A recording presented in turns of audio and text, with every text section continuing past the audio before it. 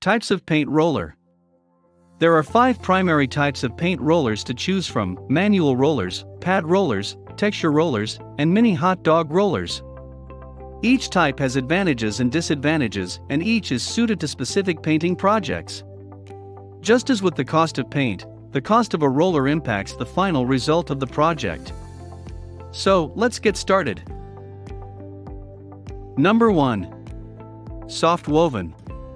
You can find soft woven rollers online for around $7 to $15 each, and for less if you purchase them in a set.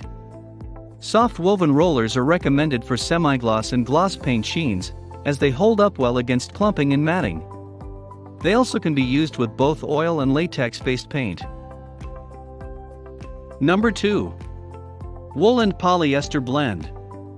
Wool-based paint rollers are some of the best rollers that you can purchase.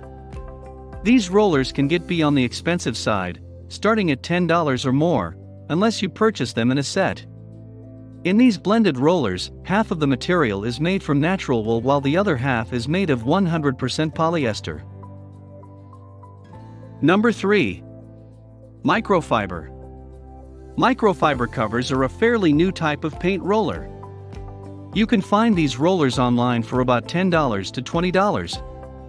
These rollers work with oil-based and latex paints as well as satin, matte, or eggshell finishes.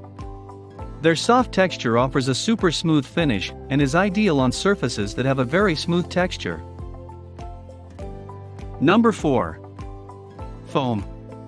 Foam rollers are probably the most inexpensive type of paint roller that you can purchase, typically going for about $2 to $5.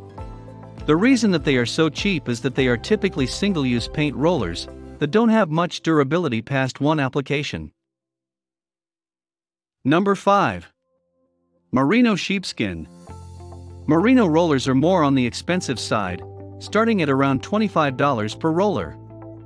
These rollers are exceptionally soft and plush, allowing them to pick up more paint than other types of roller covers.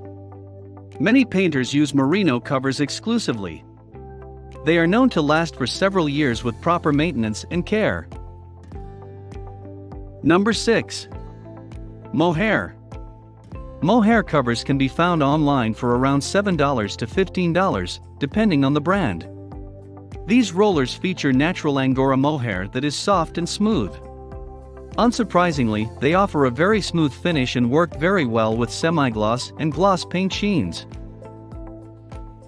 Number 7. No Nap Rollers. No Nap rollers can be purchased rather inexpensively, some even starting at $2 per roller.